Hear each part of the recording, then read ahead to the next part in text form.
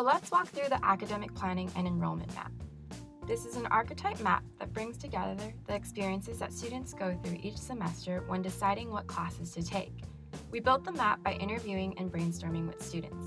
Not every student goes through every step in this process, but based on our research, we captured the range of possible journeys that students go through in their academic planning and enrollment process. One thing we discovered while doing this research is that most students think of academic planning on a semester by semester basis.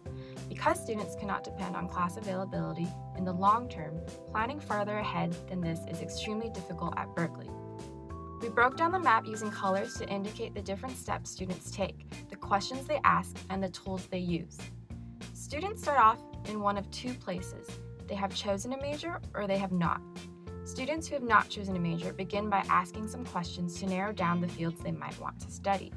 Once they've done that, they are at the same place of the process as students who have declared a major.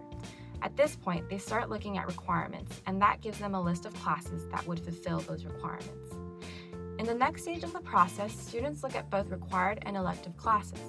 Here, they're trying to narrow down their list to classes they would actually want to take. They take into account factors like professor, workload, time, and location. This lets them narrow down a long list of potential courses into a set of prospective class schedules. Next, they look at how realistic and feasible these schedules actually are. The primary way they do this is by asking other students about their experiences.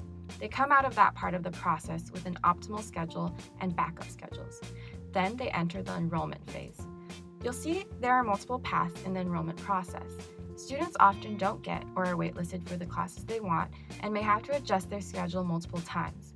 Currently, students do this under high pressure under the Tele-BEARS system. The last step is that each student will have a schedule, and as the add drop period passes, they constantly evaluate how much they like the courses and how feasible their schedule is. At some point, their schedule is locked. This process then begins again for the next semester.